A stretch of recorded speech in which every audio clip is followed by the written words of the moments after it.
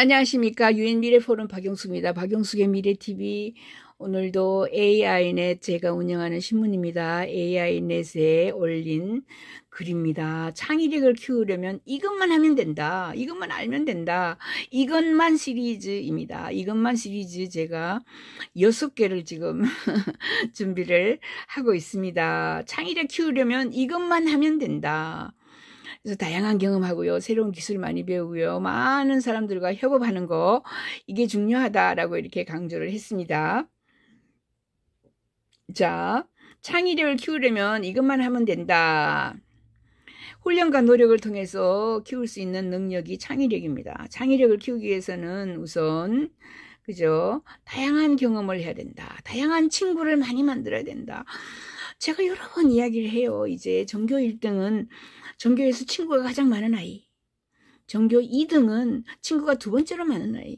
예, 이렇게 됩니다. 미래 사회에는 전부 다 협업, 그죠? 협동, 협력 하는 것이 가장 중요한 스킬입니다.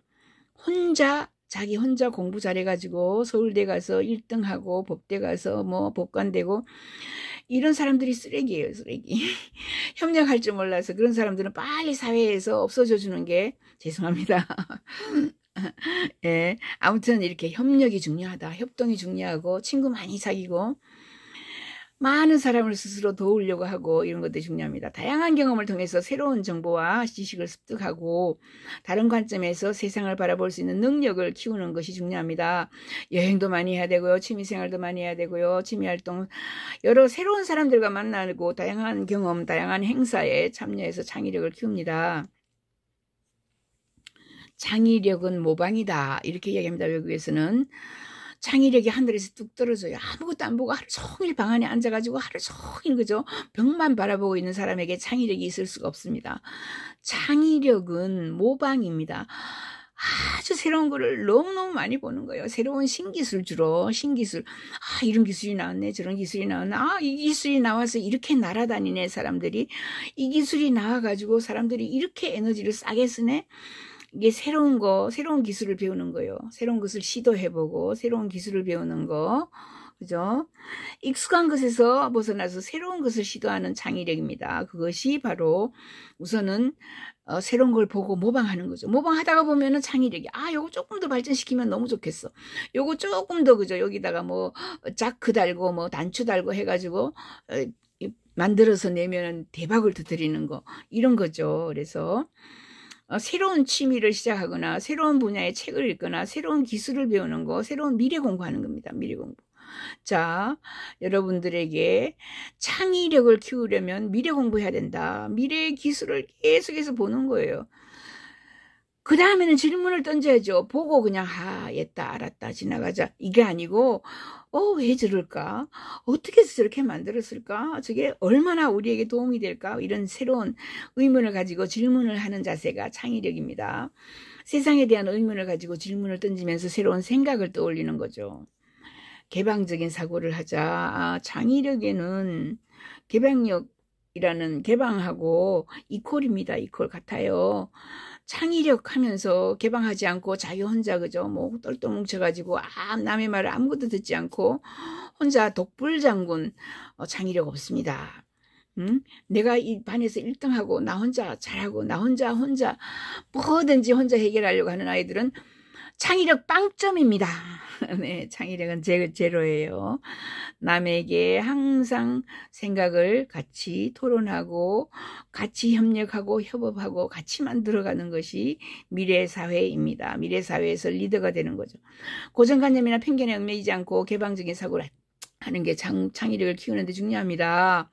실패를 두려워하지 말자. 이건 뭐 누구나 다 하는 것이죠. 다양한 책자를 읽자. 그렇죠?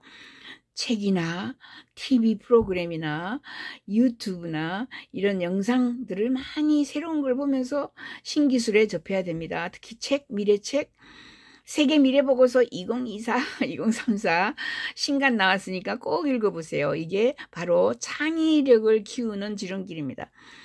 창의력은 이것만 하면 된다. 뭐만 하면 돼요? 세계 미래보고서 2024, 2034 읽어보시면 돼요. 아이들에게 읽게 해주세요. 이 책 뭐 하나에 커피 한 잔인데 이 책을 아이들한테 그죠? 어 이런 게 나왔대. 이렇게 나온대. 이렇게 항상 새로운 기술을 알려줘야 됩니다. 어머니들 어, 새로운 거 아이들에게 계속해서 알려주세요. 그래서 새로운 것을 사고방식을 얻을 수 있어요. 코딩하고 디자인하고 사진, 음악 가지고 전부 생성 AI 지금 난리가 났죠. 이렇게 다양한 분야의 기술을 가리키는 겁니다. 취미 활동을 하자. 취미 활동, 동호회 활동, 여러 사람을 만나고 그죠. 사회적인 네트워크를 할 수 있는 거예요. 창의력을 발휘할 수 있는 좋은 기회죠. 그림도 그리고 음악도 그리고 글쓰기, 춤, 요리 다양한 취미 활동을 하면서 사람들을 사귀게 됩니다. 다른 사람들과 협업하자. 협업하지 않으면은 창의력이 없어져요. 창의력이 있다는 어 거짓말 하는 거죠. 그죠? 협업하지 않고 자기 혼자 창의력이 있어요. 믿지 마세요. 그거는 전혀 쓸모없는 창의력입니다. 여러 사람하고 만나서 교류하고 협업하면서 어 가지게 되는 생각이 바로 창의력이에요. 창의력을 피우는 방법의 미래에는 그죠? 개인적인 사고방식, 경험, 환경이 상호작용하는 복합한 복합적인 과정입니다. 그래서 다양한 경험과 지식을 탐색하는 것이 아주 중요합니다. 창의력이 중요해요. 두 번째, 비판적인 사고를 하는 거, 그죠? 남이 좋다 그러면, 아, 좋다. 나도 따라하는 게 아니라, 저게 과연 좋을까? 그죠? 예, 한번 다시 생각해보고 나는 이렇게 생각해. 이렇게 창의력을 가꾸는 겁니다. 그래서 관념과 가정에서 도전하고 문제를 다양한 관점에서 바라보는 능력이 창의적인 사고를 촉진합니다. 그래서 기존의 사고방식을 넘, 넘고 새로운 해결책을 찾는 게 가장 중요합니다. 창의력이 있다면 새로운 해결책을 가지고 오는 아이가 창의력이 있는 거죠.